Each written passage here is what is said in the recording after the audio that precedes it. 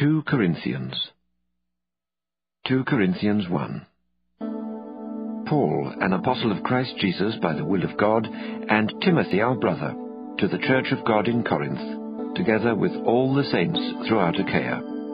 Grace and peace to you from God our Father and the Lord Jesus Christ. Praise be to the God and Father of our Lord Jesus Christ, the Father of compassion and the God of all comfort, who comforts us in all our troubles, so that we can comfort those in any trouble with the comfort we ourselves have received from God. For just as the sufferings of Christ flow over into our lives, so also through Christ our comfort overflows. If we are distressed, it is for your comfort and salvation.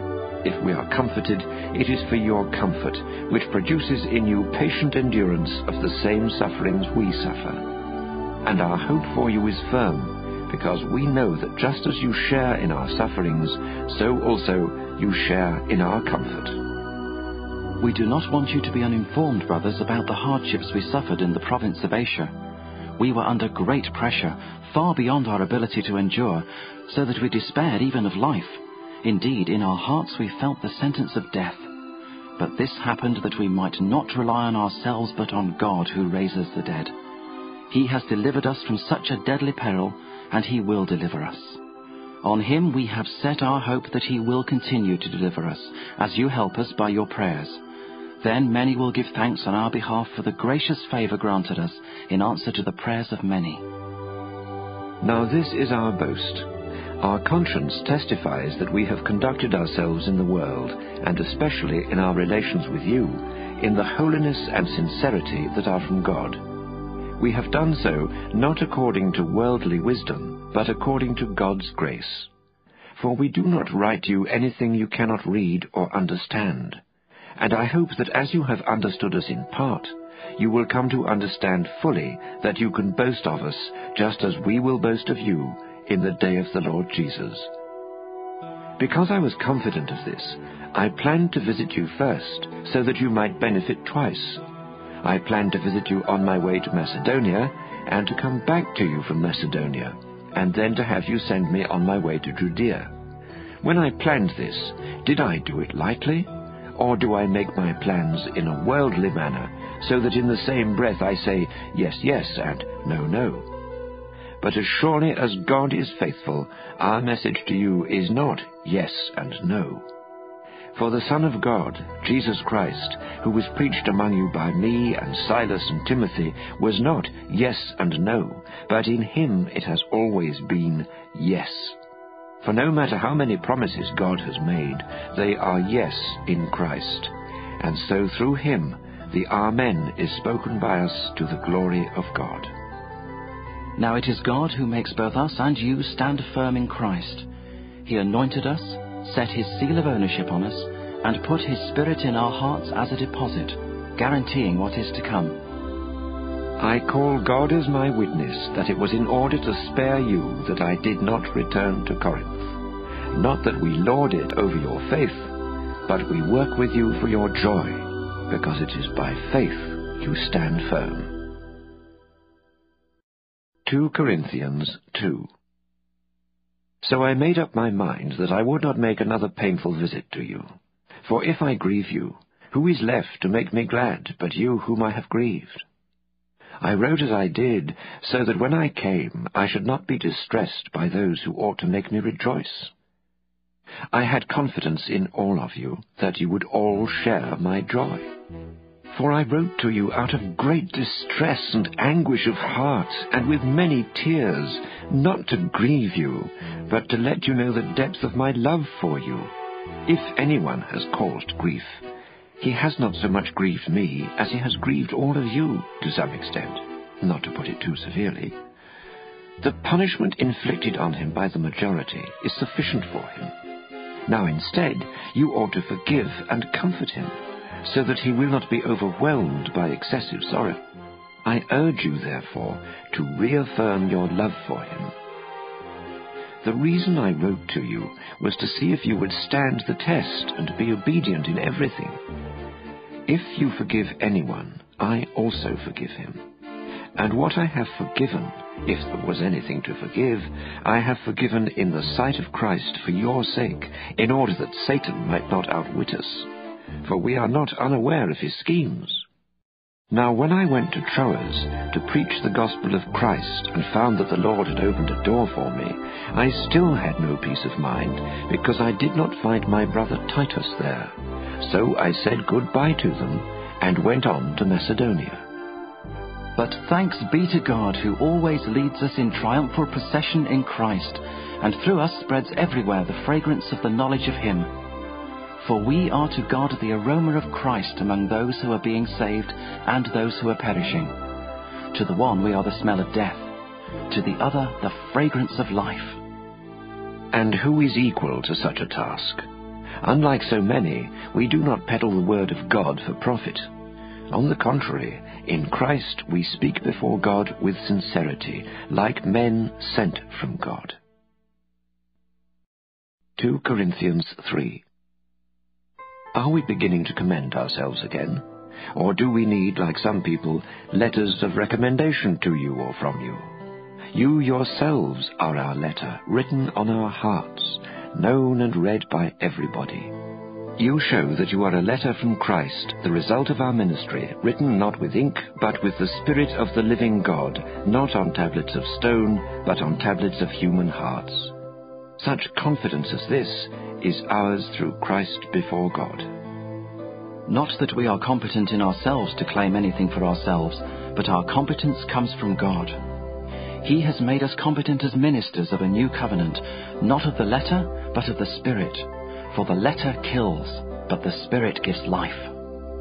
Now if the ministry that brought death, which was engraved in letters on stone, came with glory, so that the Israelites could not look steadily at the face of Moses because of its glory, fading though it was, will not the ministry of the Spirit be even more glorious? If the ministry that condemns men is glorious, how much more glorious is the ministry that brings righteousness? For what was glorious has no glory now in comparison with the surpassing glory. And if what was fading away came with glory, how much greater is the glory of that which lasts. Therefore, since we have such a hope, we are very bold. We are not like Moses, who would put a veil over his face to keep the Israelites from gazing at it while the radiance was fading away, but their minds were made dull. For to this day the same veil remains when the Old Covenant is read. It has not been removed, because only in Christ is it taken away. Even to this day, when Moses is read, a veil covers their hearts. But whenever anyone turns to the Lord, the veil is taken away. Now the Lord is the Spirit, and where the Spirit of the Lord is, there is freedom.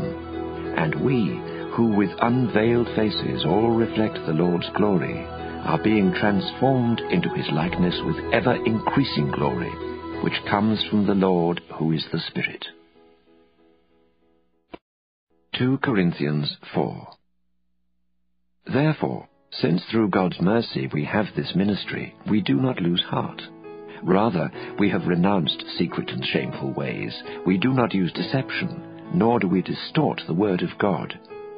On the contrary, by setting forth the truth plainly, we commend ourselves to every man's conscience in the sight of God. And even if our gospel is veiled, it is veiled to those who are perishing the God of this age has blinded the minds of unbelievers, so that they cannot see the light of the gospel of the glory of Christ, who is the image of God. For we do not preach ourselves, but Jesus Christ as Lord, and ourselves as your servants for Jesus' sake. For God, who said, Let light shine out of darkness, made his light shine in our hearts, to give us the light of the knowledge of the glory of God in the face of Christ. But we have this treasure in jars of clay to show that this all-surpassing power is from God and not from us.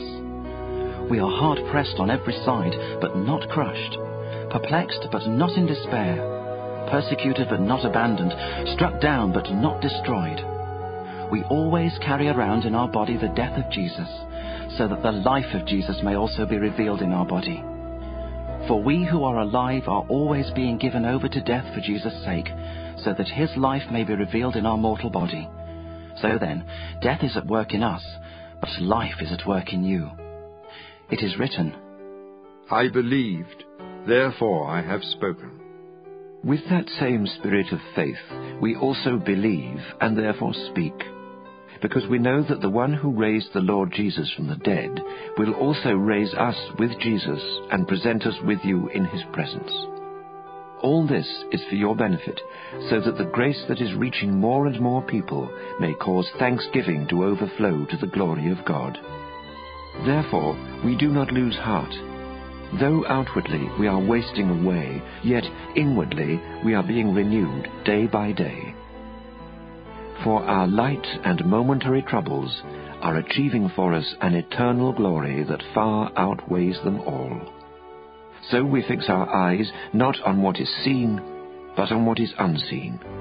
For what is seen is temporary, but what is unseen is eternal. 2 Corinthians 5 Now we know that if the earthly tent we live in is destroyed, we have a building from God, an eternal house in heaven, not built by human hands. Meanwhile we groan, longing to be clothed with our heavenly dwelling, because when we are clothed we will not be found naked. For while we are in this tent we groan and are burdened, because we do not wish to be unclothed, but to be clothed with our heavenly dwelling, so that what is mortal may be swallowed up by life. Now it is God who has made us for this very purpose and has given us the Spirit as a deposit, guaranteeing what is to come. Therefore, we are always confident and know that as long as we are at home in the body, we are away from the Lord. We live by faith, not by sight. We are confident, I say, and would prefer to be away from the body and at home with the Lord. So we make it our goal to please Him whether we are at home in the body or away from it.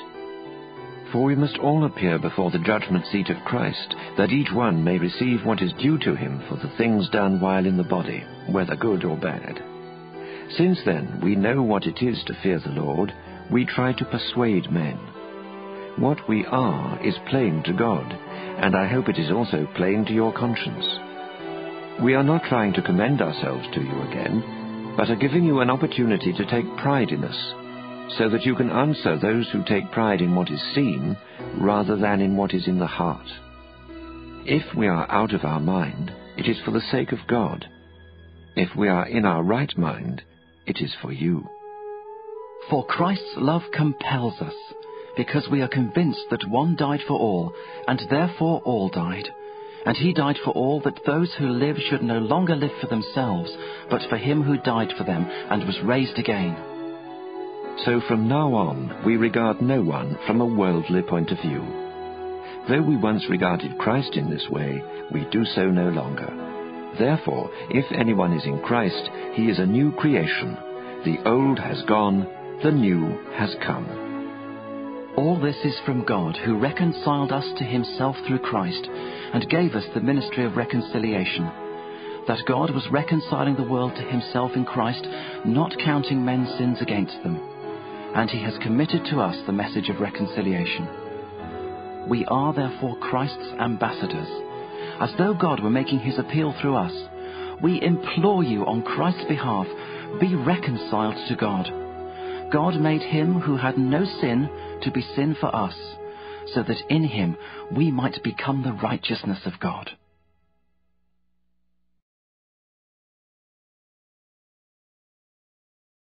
Two Corinthians six. As God's fellow workers, we urge you not to receive God's grace in vain, for he says, In the time of my favor I heard you, and in the day of salvation I helped you. I tell you, now is the time of God's favor. Now is the day of salvation. We put no stumbling block in anyone's path, so that our ministry will not be discredited. Rather, as servants of God, we commend ourselves in every way, in great endurance, in troubles, hardships, and distresses, in beatings, imprisonments, and riots, in hard work, sleepless nights, and hunger, in purity, understanding, patience, and kindness, in the Holy Spirit and in sincere love, in truthful speech and in the power of God.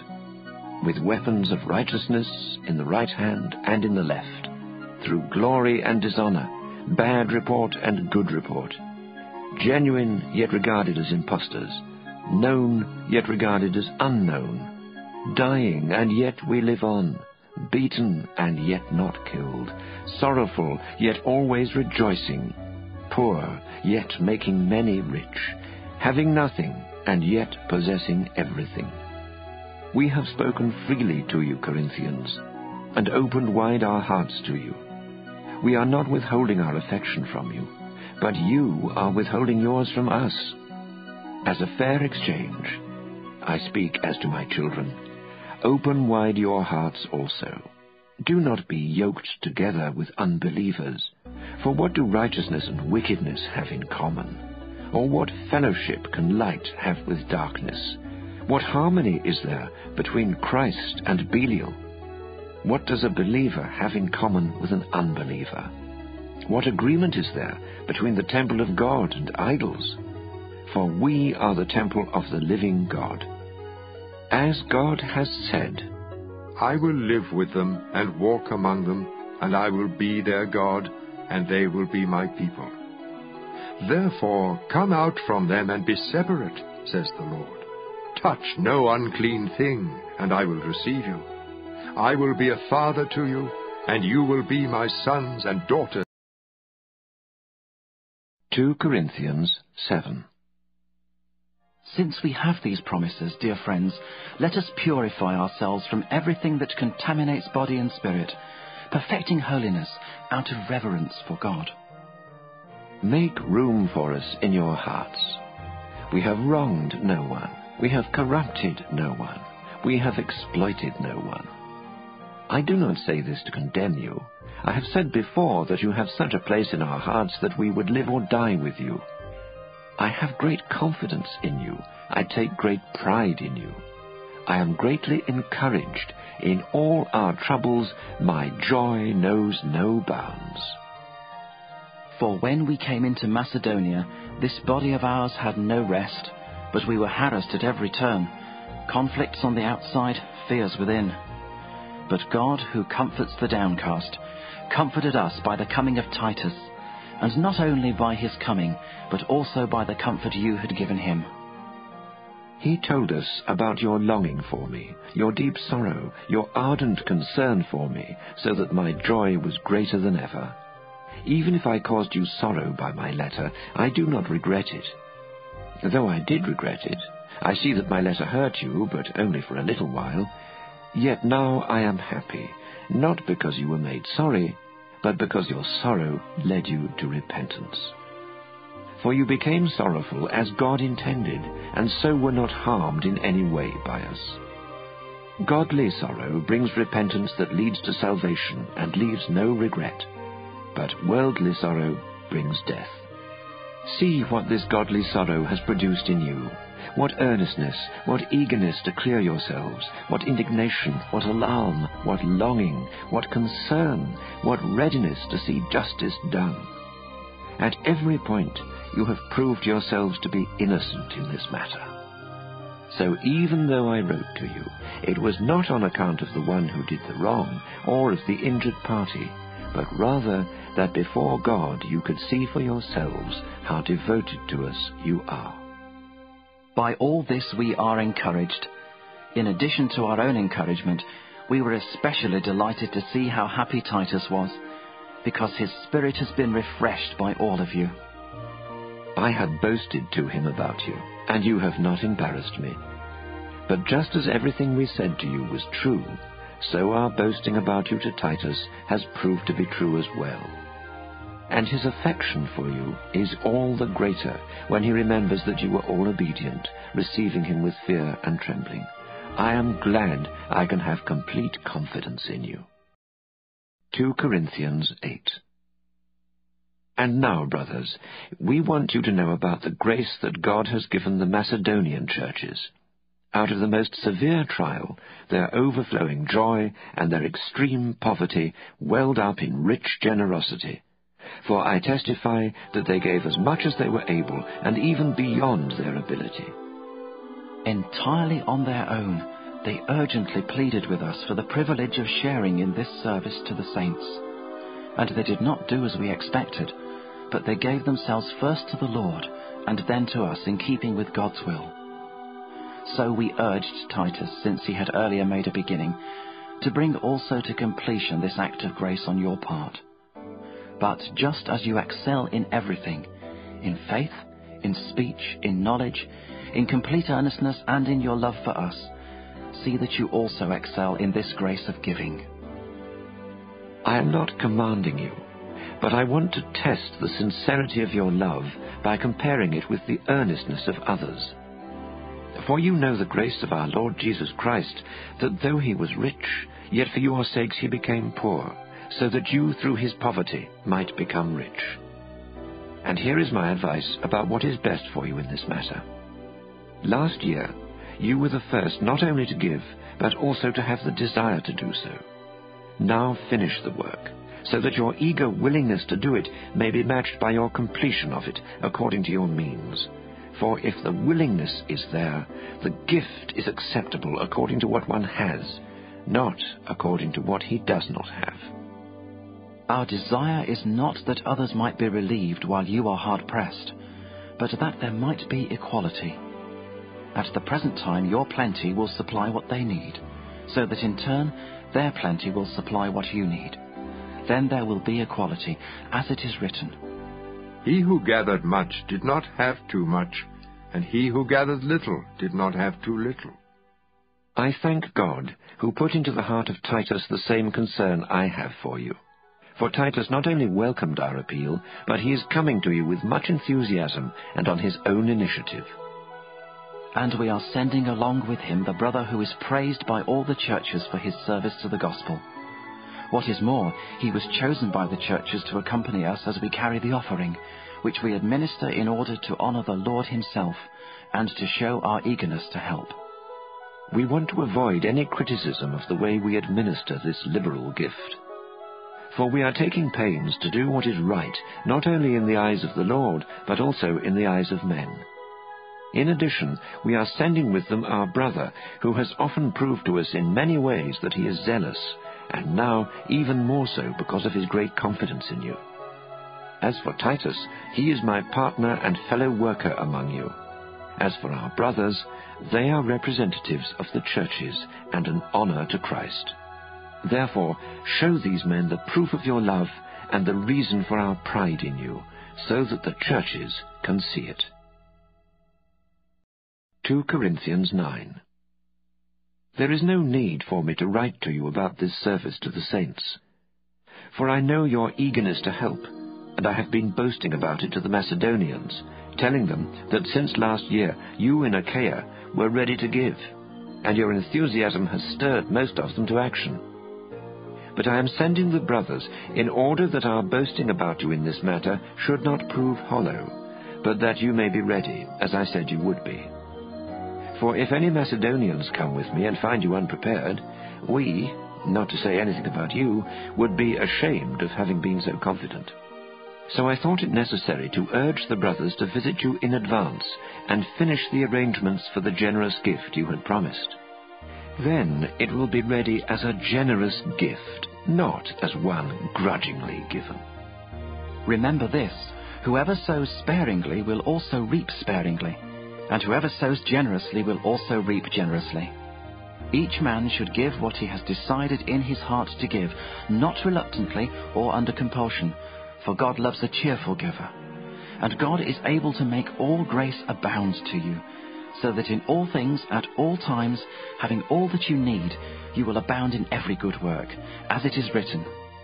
He has scattered abroad his gifts to the poor, his righteousness endures forever. Now he who supplies seed to the sower and bread for food will also supply and increase your store of seed and will enlarge the harvest of your righteousness. You will be made rich in every way so that you can be generous on every occasion, and through us your generosity will result in thanksgiving to God. This service that you perform is not only supplying the needs of God's people, but is also overflowing in many expressions of thanks to God. Because of the service by which you have proved yourselves, men will praise God for the obedience that accompanies your confession of the gospel of Christ, and for your generosity in sharing with them and with everyone else. And in their prayers for you, their hearts will go out to you because of the surpassing grace God has given you. Thanks be to God for his indescribable gift. 2 Corinthians 10 By the meekness and gentleness of Christ I appeal to you, I, Paul, who am timid when face to face with you, but bold when away. I beg you that when I come, I may not have to be as bold as I expect to be towards some people who think that we live by the standards of this world.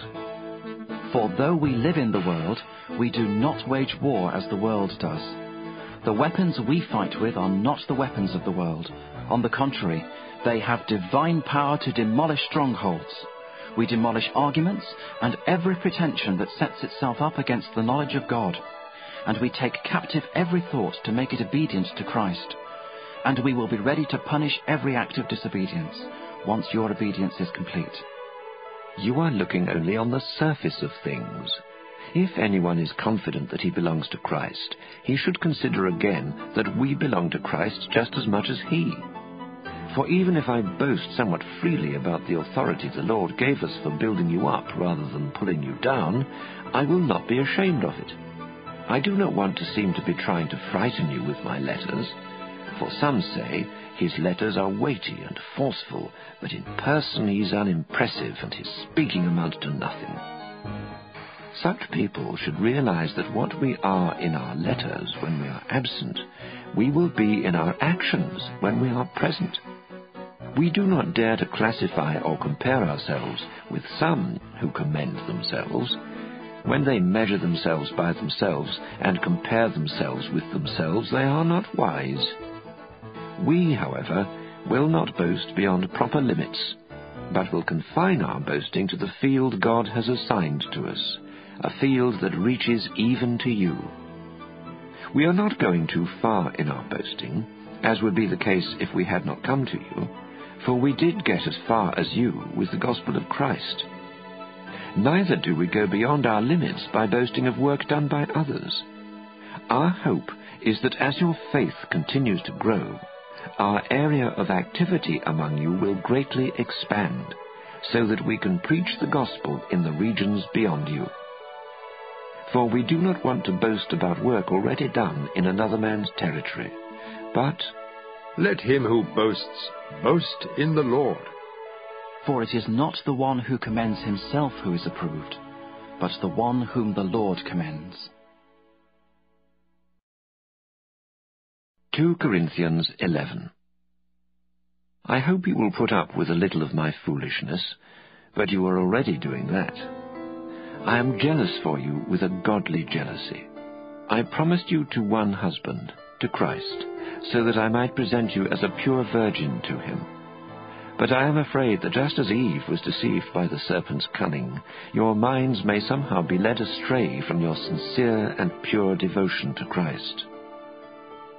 For if someone comes to you and preaches a Jesus other than the Jesus we preached, or if you receive a different spirit from the one you received, or a different gospel from the one you accepted, you put up with it easily enough.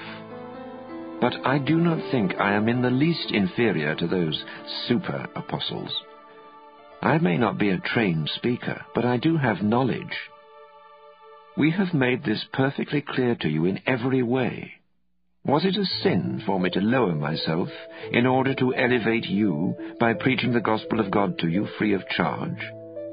I robbed other churches by receiving support from them so as to serve you.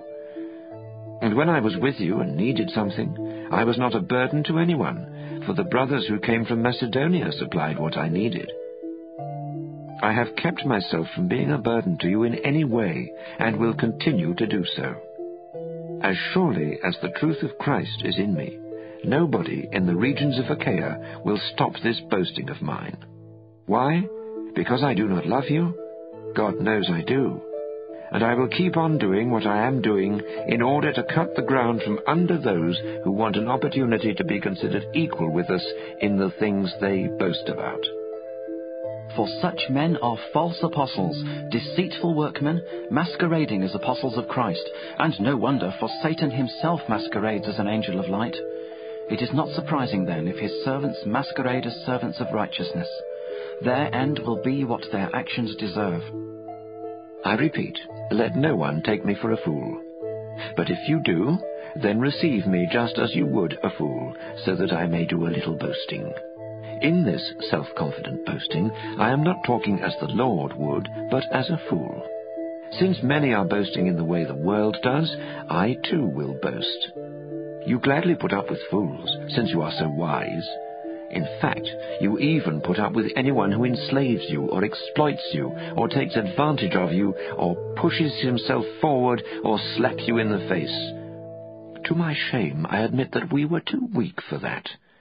What anyone else dares to boast about, I am speaking as a fool, I also dare to boast about. Are they Hebrews? So am I. Are they Israelites? So am I. Are they Abraham's descendants?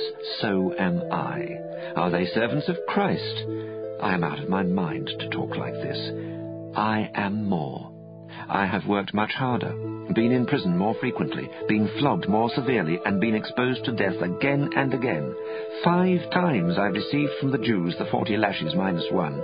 Three times I was beaten with rods. Once I was stoned. Three times I was shipwrecked. I spent a night and a day in the open sea. I have been constantly on the move. I have been in danger from rivers, in danger from bandits, in danger from my own countrymen, in danger from Gentiles, in danger in the city, in danger in the country, in danger at sea, and in danger from false brothers. I have labored and toiled and have often gone without sleep. I have known hunger and thirst and have often gone without food. I have been cold and naked. Besides everything else, I face daily the pressure of my concern for all the churches. Who is weak, and I do not feel weak? Who is led into sin, and I do not inwardly burn? If I must boast, I will boast of the things that show my weakness. The God and Father of the Lord Jesus, who is to be praised forever, knows that I am not lying. In Damascus, the governor under King Aretas had the city of the Damascenes guarded in order to arrest me, but I was lowered in a basket from a window in the wall and slipped through his hands. 2 Corinthians 12 I must go on boasting. Although there is nothing to be gained, I will go on to visions and revelations from the Lord. I know a man in Christ who fourteen years ago was caught up to the third heaven. Whether it was in the body or out of the body, I do not know. God knows. And I know that this man, whether in the body or apart from the body, I do not know, but God knows, was caught up to paradise. He heard inexpressible things, things that man is not permitted to tell. I will boast about a man like that, but I will not boast about myself, except about my weaknesses. Even if I should choose to boast, I would not be a fool, because I would be speaking the truth. But I refrain, so no one will think more of me than is warranted by what I do or say. To keep me from becoming conceited because of these surpassingly great revelations, there was given me a thorn in my flesh, a messenger of Satan, to torment me. Three times I pleaded with the Lord to take it away from me, but he said to me, My grace is sufficient for you, for my power is made perfect in weakness. Therefore, I will boast all the more gladly about my weaknesses, so that Christ's power may rest on me. That is why, for Christ's sake, I delight in weaknesses, in insults, in hardships, in persecutions, in difficulties. For when I am weak, then I am strong. I have made a fool of myself, but you drove me to it. I ought to have been commended by you, for I am not in the least inferior to the super apostles, even though I am nothing. The things that mark an apostle, signs, wonders, and miracles, were done among you with great perseverance. How were you inferior to the other churches, except that I was never a burden to you? Forgive me this wrong. Now I am ready to visit you for the third time, and I will not be a burden to you, because what I want is not your possessions, but you. After all, children should not have to save up for their parents, but parents for their children. So I will very gladly spend for you everything I have, and expend myself as well. If I love you more, will you love me less? Be that as it may, I have not been a burden to you. Yet, crafty fellow that I am, I caught you by trickery. Did I exploit you through any of the men I sent you? I urged Titus to go to you, and I sent our brother with him. Titus did not exploit you, did he? Did we not act in the same spirit and follow the same course? Have you been thinking all along that we have been defending ourselves to you? We have been speaking in the sight of God as those in Christ. And everything we do, dear friends, is for your strengthening. For I am afraid that when I come, I may not find you as I want you to be, and you may not find me as you want me to be. I fear that there may be quarreling, jealousy, outbursts of anger, factions, slander, gossip, arrogance, and disorder. I am afraid that when I come again, my God will humble me before you, and I will be grieved over many who have sinned earlier and have not repented of the impurity, sexual sin, and debauchery in which they have indulged. 2 Corinthians 13 This will be my third visit to you. Every matter must be established by the testimony of two or three witnesses. I already gave you a warning when I was with you the second time. I now repeat it while absent on my return, I will not spare those who sinned earlier, or any of the others, since you are demanding proof that Christ is speaking through me. He is not weak in dealing with you, but is powerful among you. For to be sure, he was crucified in weakness, yet he lives by God's power. Likewise, we are weak in him, yet by God's power we will live with him to serve you. Examine yourselves to see whether you are in the faith. Test yourselves. Do you not realize that Christ Jesus is in you? Unless, of course, you fail the test. And I trust that you will discover that we have not failed the test. Now we pray to God that you will not do anything wrong. Not that people will see that we have stood the test, but that you will do what is right even though we may seem to have failed. For we cannot do anything against the truth, but only for the truth. We are glad whenever we are weak, but you are strong, and our prayer is for your perfection. This is why I write these things when I am absent, that when I come, I may not have to be harsh in my use of authority, the authority the Lord gave me for building you up, not for tearing you down. Finally, brothers, goodbye. Aim for perfection. Listen to my appeal. Be of one mind. Live in peace. And the God of love and peace will be with you. Greet one another with a holy kiss. All the saints send their greetings. May the grace of the Lord Jesus Christ and the love of God and the fellowship of the Holy Spirit be with you all.